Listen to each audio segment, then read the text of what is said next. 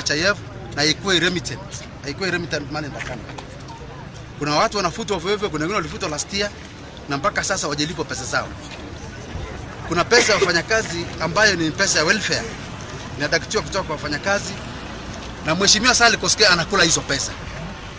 So sisi tumesema tunatembea, tumekuja, tunataka kuona governor, tunataka kuona na county commissioner, ili haki za wafanyakazi wapate, na tumeapa ya kwamba tutasunguka, tutatembea mpaka wafanyakazi wapate haki yao.